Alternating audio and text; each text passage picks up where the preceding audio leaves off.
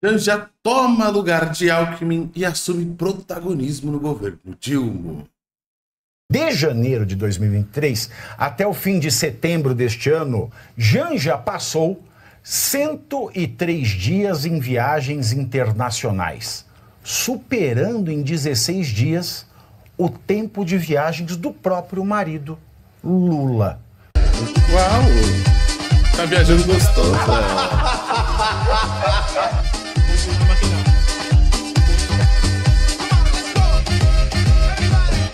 Desde o começo do terceiro mandato de Lula, hum, a primeira-dama, Janja, não escondeu o desejo de assumir o protagonismo em política externa, mesmo sem falar inglês, espanhol, francês, mesmo sem falar português, né? Veja se abrido, cidadão, cidadãos, aliás, né?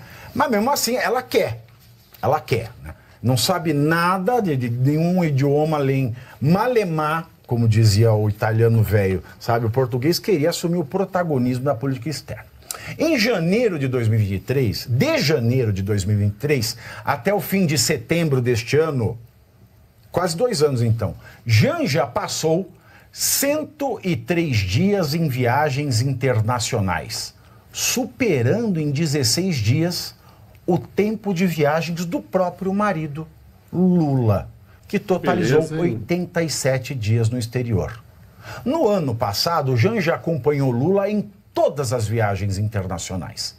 Já em 2024, a primeira-dama participou de quatro eventos oficiais como representante do Brasil.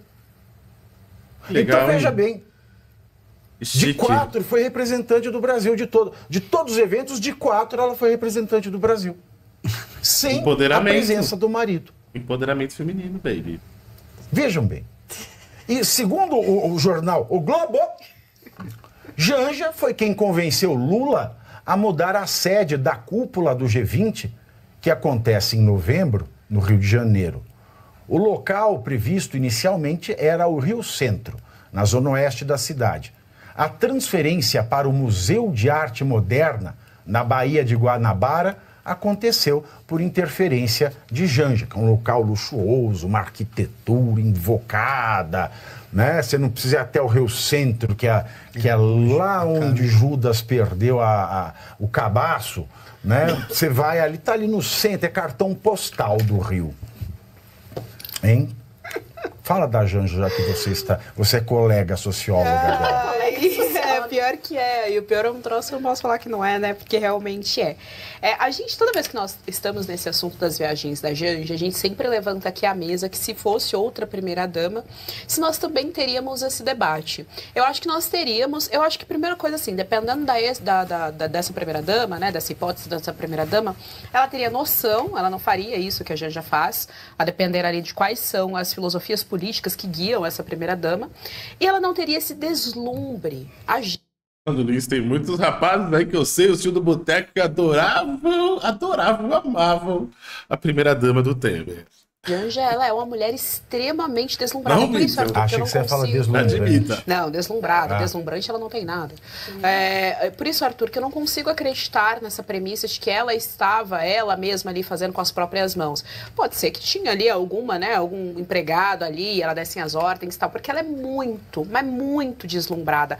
O Lula já é um viajão. Ela consegue superar o viajão do próprio presidente e representar o país onde ela não se simplesmente não tem. Esse cargo que ela inventou na cabeça dela junto com Lula não existe. Quando o país precisa ser representado, tem que ir algum ministro nos representar ou o vice-presidente. Se o presidente não pode estar lá, é para isso que essas pessoas servem, né? Os ministérios, eles são extensão do que é o executivo.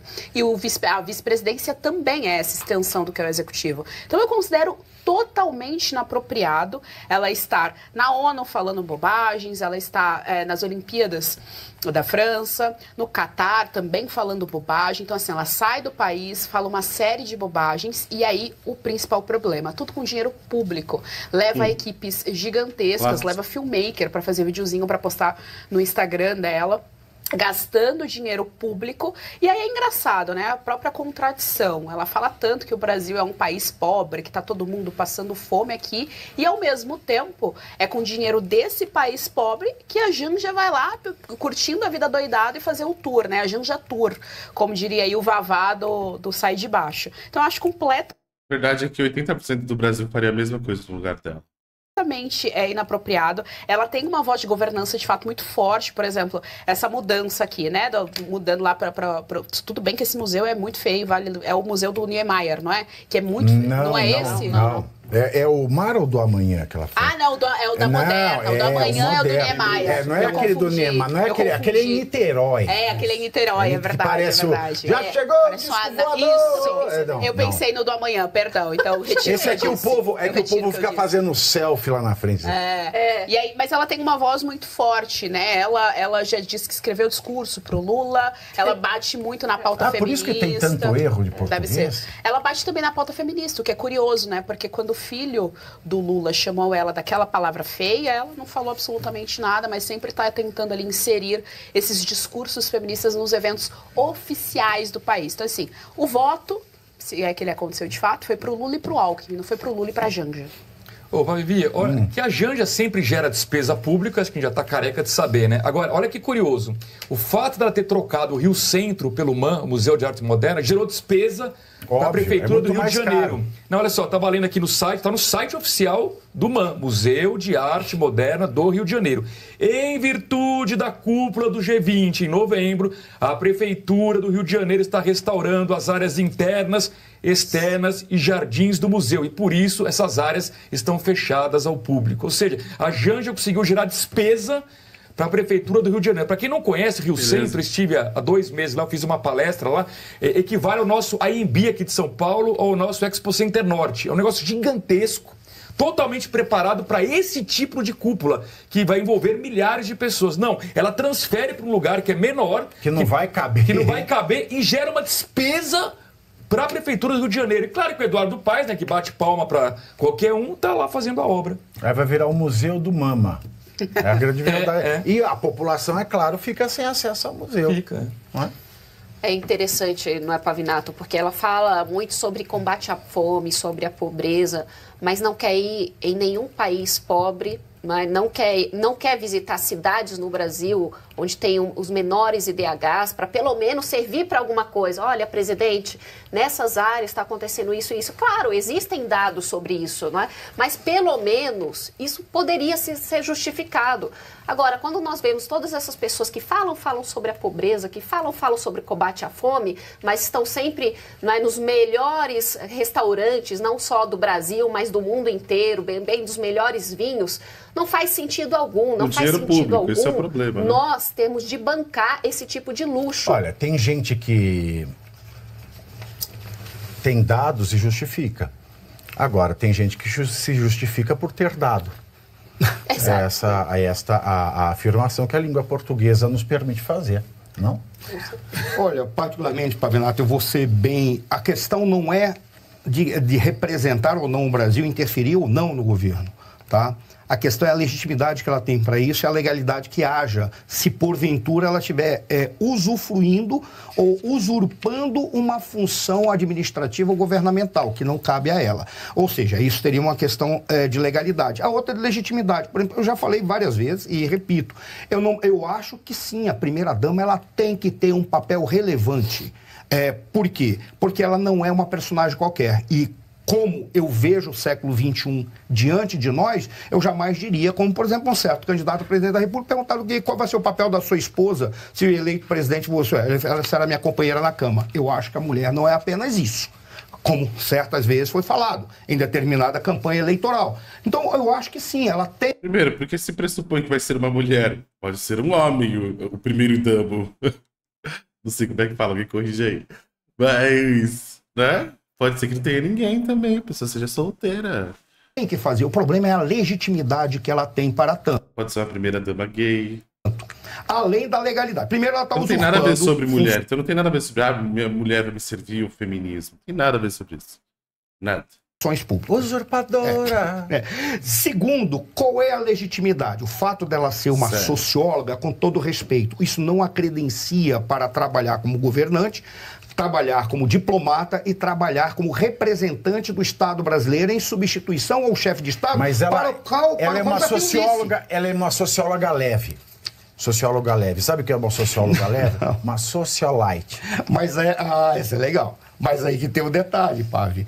A- até mesmo, por exemplo, atribuir-se que ela é socióloga, por exemplo, uma vez a, a Geis tinha falado, parece que ela tinha. Não, não tem título nenhum, Geis. Ela não tem título Ela, nenhum. ela não tem título É. nenhum. Ela formou em que ela sociologia, te- não conseguiu terminar, depois voltou, depois fez uma especialização não sei aonde, É. e para minha tristeza, ela fez o, o curso da Associação de Diplomados da Escola Superior de Guerra do Paraná. Ela fez o curso ou deu o curso? Não sei. Eu acho que ela, ela participou do curso. Ou seja, aí a gente vê e diz assim, quais são as atribuições, melhor, quais são ah, os elementos que a configuram profissionalmente, teoricamente, intelectualmente ou, e politicamente para ela estar exercendo nenhum, exceto o fato de o presidente da República dizer, vá que eu quero. Mas o presidente não pode fazer isso. Porque o presidente, inclusive, não é ele quem governa. Quem governa é a presidência. O presidente a- exerce aquilo que a presidência autoriza. Mas se E a presidência é uma está em silêncio, por exemplo, se o é. Alexandre de Moraes não falou nada, está autorizado. Esse é que é o problema. Verdade, né? Esse aqui é o problema. Mas aí, mas o Alexandre não vai falar isso agora. O, o legislativo tinha que falar. O legislativo tinha que cobrar. Por qual razão que ela faz? Ai, não. Já- é, já- vira piada. Mas, Não, a, vira piada. mas a, a gente tem que jogar pro povo, que o povo tem que ter essa clareza para quando fizer a crítica dela, fazer a é crítica povo, de uma forma dia, né? correta e incisiva. Por qual razão? Porque suponhamos que Sua Excelência o presidente Bolsonaro retorne à presidência da obriga. República por algum milagre que vai acontecer. Eu ficaria feliz em ver a Michelle representando o Brasil, desde que ela fosse legitimada, assumisse um cargo que fosse dado e um cargo aprovado pelo Legislativo. Aí eu ficaria. Por quê? Porque ela sabe se comportar. Ela sabe o que fala. Ela aí é sabe o como se ponto. vestir. Aí Ela é o sabe o que fazer. A Um Ruth cargo. também, a Marcela também sabia. Mas um cargo. Um Exato. cargo de alguma coisa. Exato. Que é o que a Janja não ocupa. Ela Ela, não só é ocupa. esposa de um cara. Por isso que eu falei, ela tinha, ela tá usurpando, usurpando cargos públicos porque não é dado cargo nenhum para ela, então ela ocupa o cargo que ela quiser como representação de Estado. Ela é ministra das Relações Exteriores, ela é diplomata, ela é embaixadora, ela é a vice-presidente da República, ela é a chefe de Estado do Brasil, ela é a dandinha da dandão do país, sei lá o Ela, que ela pode ser isso. enquadrada no conceito tudo. de eminência parda?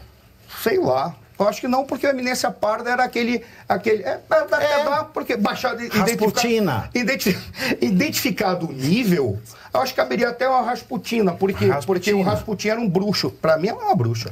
Ela é uma Olha, bruxa eu não no sei, ouvido do Lula. professor Marcelo, eu não Tá. sei se ela é uma deusa, Sim. uma louca ou uma feiticeira. Não, mas, mas ela é aí, demais. Eu não tô ofendendo, não. Quando você quer falar bruxo, você tá falando de uma forma Processo. elogiosa. Alguém que tem capacidade com magia de conseguir mudar a realidade. limpa esse processo. Como já tô limpando o processo. Como, por exemplo, o Ronaldinho Gaúcho. Será que ela Ronaldinho fez amarração? bruxo. Será que ela Ah, fez amarração para o Lula? eu Não sei, não. Isso aí não. Eu tô dizendo a bruxa do sentido daquilo, aquela pessoa que consegue resolver tudo e dar conselhos. Usa o exemplo do. Ronaldinho Gaúcho. Ronaldinho Gaúcho ficou legal, né? Essa é boa. O Ronaldinho Gaúcho era o Gaúcho. bruxo.